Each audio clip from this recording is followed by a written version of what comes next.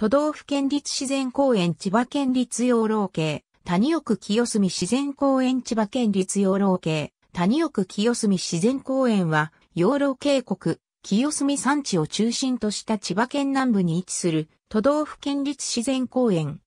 阿波又の滝尾別川、上流千葉県南部の市原市、君津市、鴨川市、いすみ郡大滝町に位置し、養老渓谷、清澄山地を中心とした自然公園である。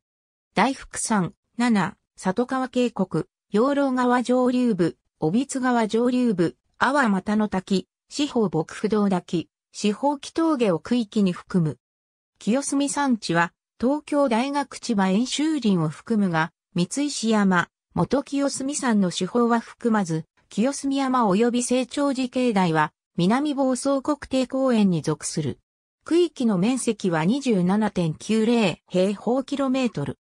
奥清町の7、里川渓谷、養老渓谷の渓谷美や大福山北部、自然環境保全地域や、梅ヶ瀬渓谷自然環境保全地域とも隣接した豊かな自然が特色である。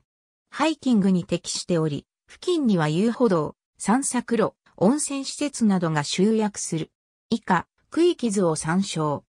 小沢又の滝養老渓谷温泉、川の家養老渓谷、養老川周辺は養老渓谷温泉があり、川の家などの宿泊施設や足湯、日帰り温泉施設が点在する。帯津川周辺は7、里川温泉があり、養老渓谷温泉同様、宿泊施設や日帰り温泉施設が点在する。ありがとうございます。